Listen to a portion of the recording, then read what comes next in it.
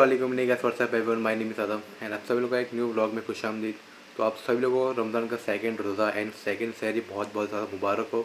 इसके पहले वाला जो ब्लॉग एंड इसके पहले के पहले वाला जो दो ब्लॉग्स मैं अपलोड किया हूँ रमज़ान के, वो दोनों के दोनों भी मैंने फोर के में अपलोड किया हूँ। तो ये से एक काफ़ी ज़्यादा बड़ी बात है मेरे लिए। एंड आई होप डेट आपने दोनों भी ब्लॉग्स देखे होंगे। एंड सहरी अलहमदिल्ला हो चुकी है एकदम सिंपल एंड सादी। फोर ओ क्लॉक मुझे जो प्रॉपरली नींद नहीं मिली, क्योंकि वीडियो एक्सपोर्ट एंड अपलोड होने में लिटरली दो बज गए थे। Hardly I can say half an hours की मुझे नींद मिली है। सहरी करने के बाद एंड फर्दर की नमाज़ पढ़ने के बाद, मैं जाना रहा करने के लिए। एंड मिलता हूँ मैं आपको जब भी मैंने आपको तब एंड एज यूजल आपके लिए कुछ सेकंड की बात है।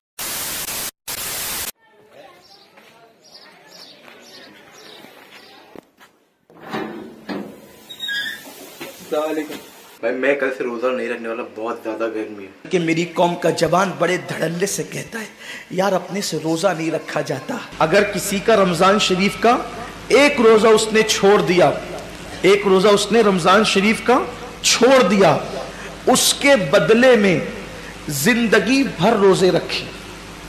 ये मैं नहीं कह रहा हूँ ये हमारी किताबों में लिखा हुआ है। मुसल इस्लामी कुतुब में अहल सुन्नत की कुतुब में कुतुब फ़िक में, कुतुब अहदिस में लिखा हुआ है कि जिसने माह रमज़ान शरीफ का एक रोज़ा छोड़ दिया, फिर अब पूरी ज़िंदगी रोज़े रखता रहा उसके बदले में तो जो फजीलत रमज़ान शरीफ में एक रोज़ा रखने की थी, पूरी ज़िंदगी के रोज़े रख कर भी उस एक रोज़े की फजीलत को नहीं पा सकता।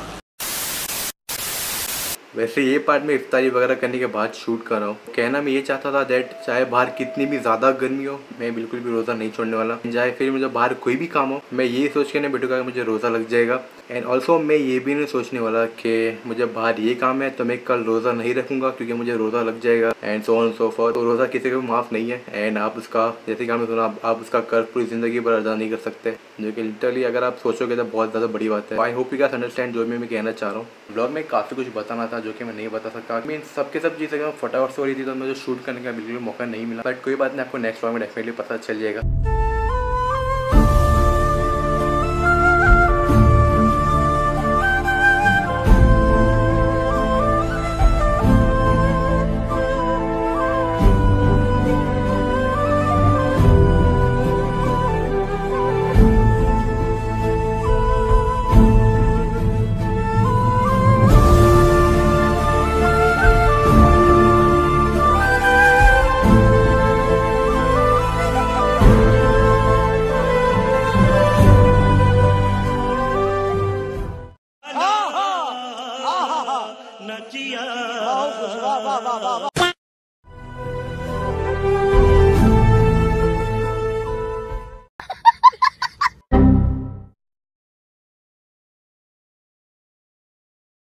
जो हमारी होममेड कपड़े की थैली होती है वही सबसे बेस्ट होती है।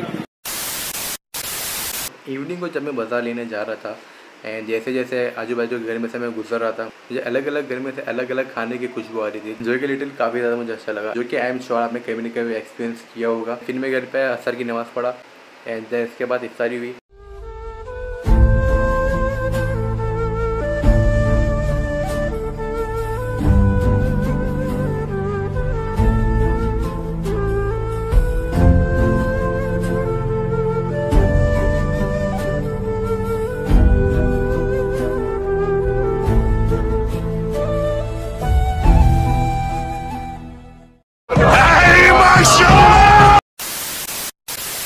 बिटवीन काफ़ी सारी चीज़ें हुई जो मैं बिल्कुल भी शूट नहीं कर सका। एंड उसके बाद फाइनली अभी मुझे मौका मिला कि मैं कुछ शूट कर सकूँ। ये वाला ब्लॉग मैं फोर के अपलोड करने वाला हूँ। कि for more updates and behind the scenes Instagram Facebook Twitter Snapchat सब पैटर्न फॉलो कर लो। सबकी लिंक सबको डिस्क्रिप्शन बॉक्स में मिल जाएगी। एंड यस मिलता हूँ बहुत जल्द नेक्स्ट ब्लॉग में इंशाल्लाह अस्सलाम वालेकुम एंड पीस आउट